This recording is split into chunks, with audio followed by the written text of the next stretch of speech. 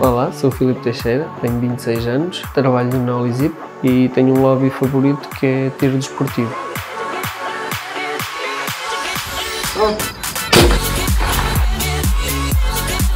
Eu trabalho remotamente, dá para conciliar eh, as tarefas de casa mais as tarefas de trabalho. O que eu faço é a correção dos cartões SIMs dos telemóveis. Adoro a equipa com que trabalho, seja da Mel, seja da Olisip, adoro. Em 2014 fui campeão da Europa de Júniores, na Hungria. Em 2015 consegui logo ser vice-campeão da, da Europa, onde sou o único português e júnior com consegui dois títulos de grande nível europeu seguidos. Consegui ganhar quatro vezes a Taça Portugal Júniores e este ano estamos a começar agora a nova época para ter a classificação para os Jogos Olímpicos.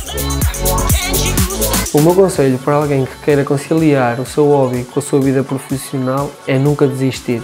Vai haver momentos difíceis, mas com esforço e dedicação o resultado vai compensar.